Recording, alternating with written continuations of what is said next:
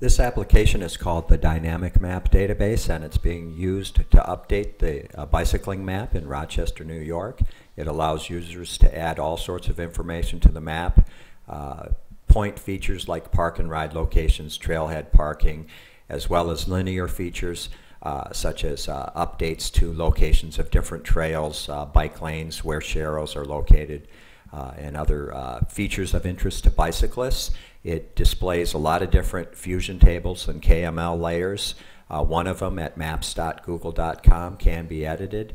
Each of the icons that are placed on the map have a lot of functions, um, including you can zoom to the location, you can upload photos that are associated with that location, you can post geographical permalinks to Twitter and to Facebook.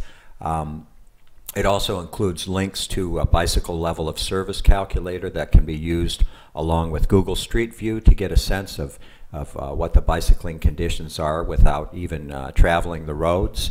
Uh, but uh, the main purpose is to get the ratings from people who have ridden on the roads and use those to update the uh, current version of the map.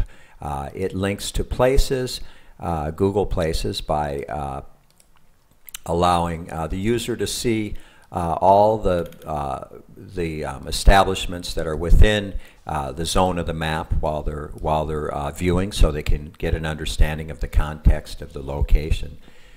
So the, those are the features. Uh, the database that's created by the map can be selected and then copied and then pasted into Microsoft Excel or into OpenStreetMaps Calc and then can be imported into other uh, applications because it includes the uh, latitude and longitude.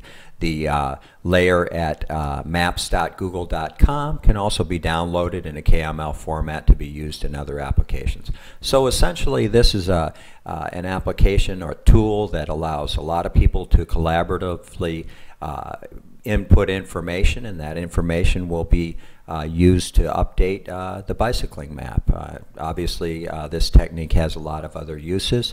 Uh, the location of the application is bike.zgroks.com. Thank you.